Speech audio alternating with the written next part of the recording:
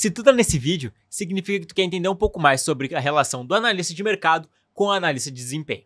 Então, eu trouxe aqui o meu amigo Jefferson Ramos, analista de mercado do Barra Futebol Clube, para te explicar como funciona essa relação no dia a dia dos clubes de futebol. Hoje, hoje o Barra possui no departamento profissional um analista de desempenho, que é o Félix, e aí nós temos uh, no sub-20 o Alexandre, na 17 e na 15 também tem profissionais que trabalham com análise de desempenho, porém a interação é um pouco mais reduzida.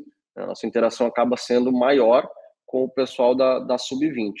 Né? Então, eu aqui no clube trabalho mais focado na parte de mercado, mas por se tratar de um clube ainda em crescimento, ainda em desenvolvimento, eu auxilio a parte de desempenho, enquanto o analista de desempenho me auxilia no mercado.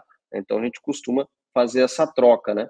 Então a nossa relação ela sempre, de certa forma, tende a ser a melhor possível, né? E tenta gerar uma integração, principalmente no que diz respeito aos adversários, né? Porque é um monitoramento ativo, é algo constante. Então daqui a pouco a parte do desempenho vai estar analisando o adversário e dentro desse processo de análise, né? Dentro do relatório gerado, vai identificar alguma valência, alguma característica num atleta adversário que pode vir a ser importante para a gente no futuro próximo. É, ou seja, vai enfrentar um, um, um Concórdia, por exemplo, que é um dos adversários do nosso grupo. E lá no Concórdia tem um determinado atleta que, que chamou atenção por algum motivo. Esse atleta ele vai entrar no nosso banco de dados e vai passar por todas as etapas do nosso processo de análise. Tu que está assistindo aqui, tem um desejo em trabalhar como analista de mercado no futebol? Então tua oportunidade está aqui.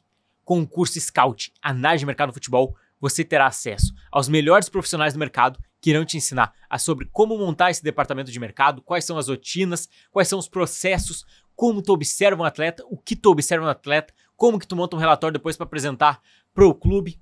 Então, tudo está nesse curso e além do mais, tu tem um estágio garantido em um clube de futebol, onde tu vai poder botar em prática tudo que tu aprendeu durante o curso. Então, não perde tempo, tua oportunidade de entrar no mercado de futebol está aqui, nesse curso.